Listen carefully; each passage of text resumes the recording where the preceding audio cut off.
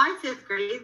This is Mrs. Ickes. I just wanted to check in and make sure everybody's doing well, staying safe.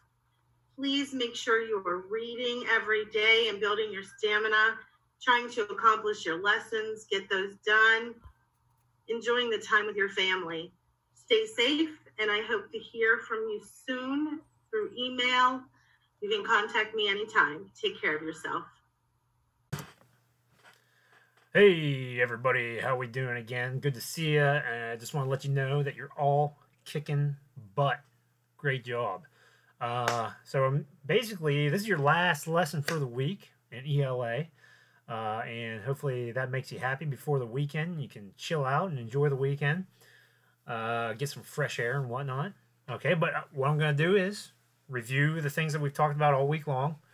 Uh, and then I'm gonna kind of give you what the give you the assignment that we're gonna have you do, and then you can you can finish up strong and uh, go back to having a great weekend.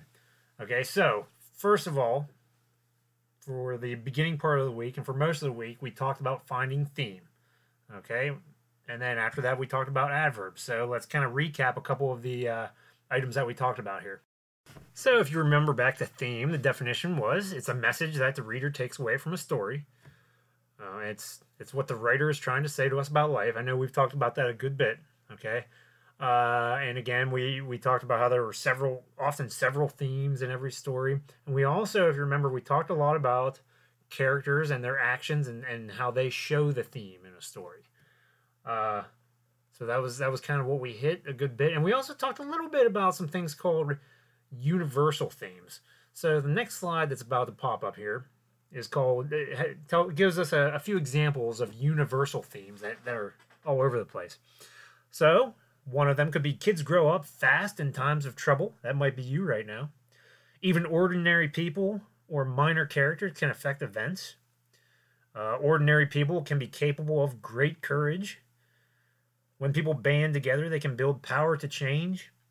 Where there is power there is also resistance that's a good Star Wars one there. And humans are capable of great evil to each other and great goodness. So those are some themes that uh, you know we can see throughout history, and then we can see in a lot of the things that uh, we watch and read. Uh, then after we talked about theme all week long, we started talking about adverbs. So if you remember, this was your uh, list of some examples of adverbs, and we also included in resources a, a huge list of different adverbs that you can use.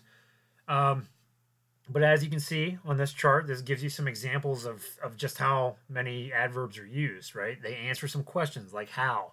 How is something done?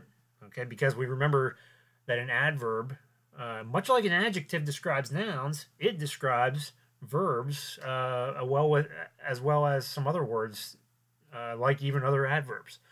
Okay, so we're going to take theme and work a little bit with adverbs as well.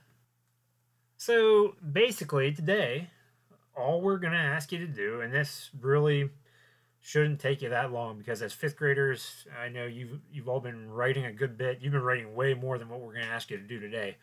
But we have a small writing assignment for you. And that writing assignment is we want you to take anything you've read. Okay, it could be something that uh, you remember a good theme from during class, uh, like some people have read read the book Thief of Always. Uh, there's other books I know that have great themes that we've read in, in groups uh, and, and that you've read during your, your workshop time, uh, like Tuck Everlasting or, or uh, you know, Wonder. We talked about Wonder. Uh, so any book that you have read and you, you really think you have a good grasp on, we want you to write a paragraph, one paragraph only, uh, and and tell us about what that theme is, and tell us how the author showed you that theme throughout the book.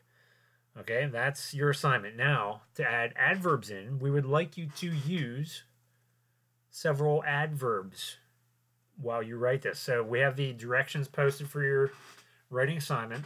Uh, just follow them and uh, do the best you can, and then we'll see you next week. Bye, gang. Oh, by the way, uh, just because it's the weekend doesn't mean you have to stop reading, right? You can keep on reading and logging all that time in and keep your mind sharp, gang. Keep them real sharp. Okay, now I seriously am out this time. I've got laundry to do or something, probably. Bye.